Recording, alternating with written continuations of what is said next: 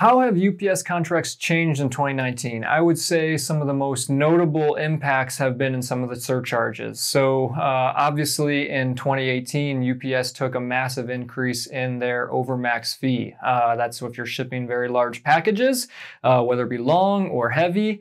That fee went from $300 to $650 by the end of the year. Um, this year, that fee is obviously still in effect after having also taken a pretty substantial peak surcharge during the holidays.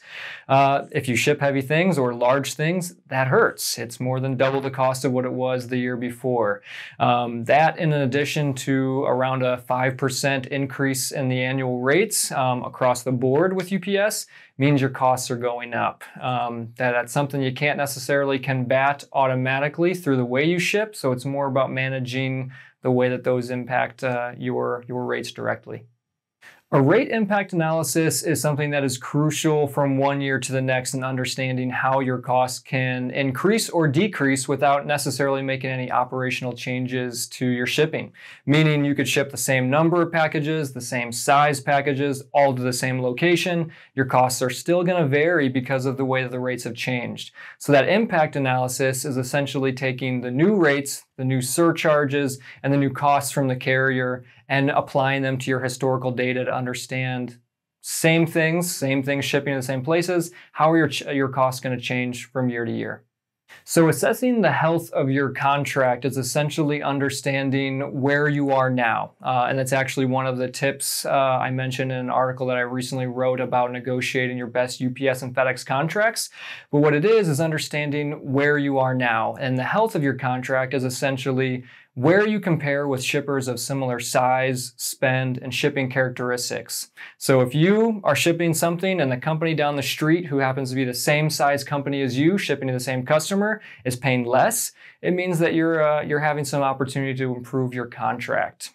So the way that Lojistic helps customers understand the health of their contract is by analyzing, um, it's, it's, essentially a shipper profile made up of over 100 points in your shipping profile.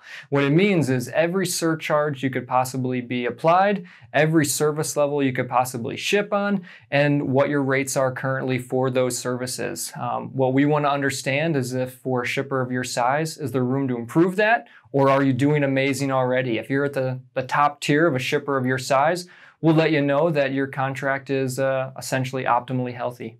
So one of the other tips that we recommend for people who are one looking to assess the health of their contract, but two essentially try to lower your costs is to manage the negotiation process. And one key tip that uh, I included in the article I recently wrote about 10 tips to negotiate your best contract was knowing what to ask for, how to ask for it, and when. Um, and the analogy I use is it's like telling a good joke. The, uh, the punchline is everything, and the delivery is everything. So you don't want to give that punchline up too soon. And the way that that applies to a negotiation is very similar. You want to know uh, what concessions you're going to be asking for within the negotiation, and even more importantly, when to ask for them. There's an appropriate time when you demand certain concessions in your contract and other ones that are very easy to ask throughout the contract. So knowing that, kind of knowing the temperament of your rep and engaging the, the process of the negotiation is very, very important because it's going to have a substantial outcome on the concessions that the carriers ultimately make in your favor.